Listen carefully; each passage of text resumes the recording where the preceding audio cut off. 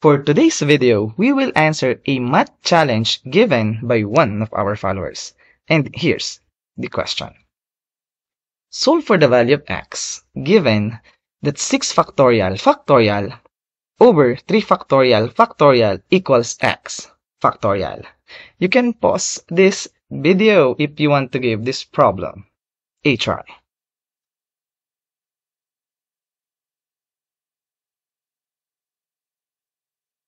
And now, let's answer this question together.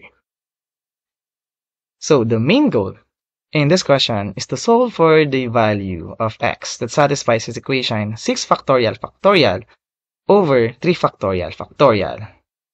To answer this question, what we're going to do first is to recall what is a factorial. So a factorial must be equal to, or n factorial equals to n times n minus 1 times n minus 2 times all the way up to 3 times 2 times 1 or the product of all natural numbers less than or equal to the value of n.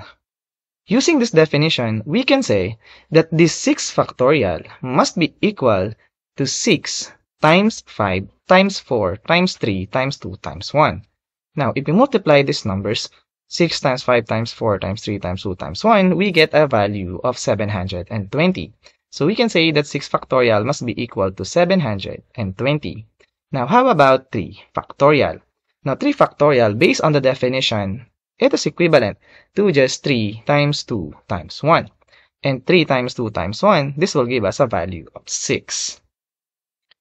Therefore, we can replace the 6 factorial as 720.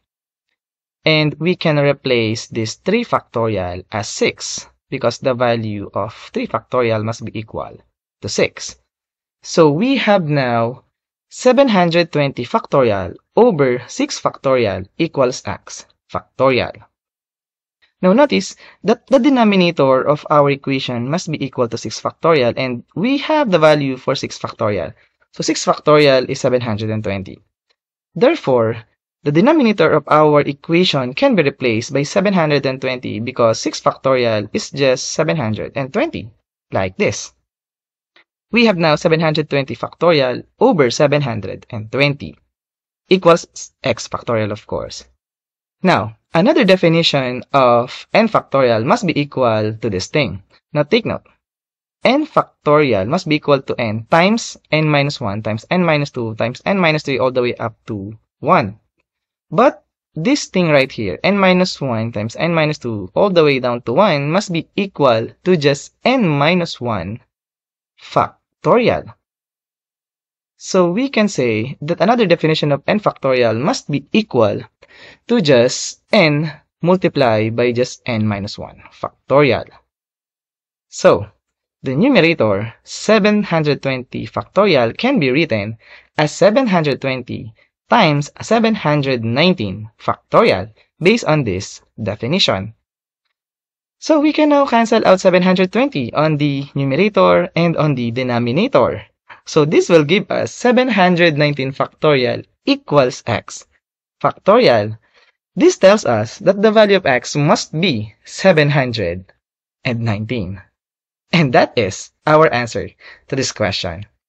Therefore, if we have 6 factorial factorial over 3 factorial factorial equals x factorial, then the value of x must be equal to 719.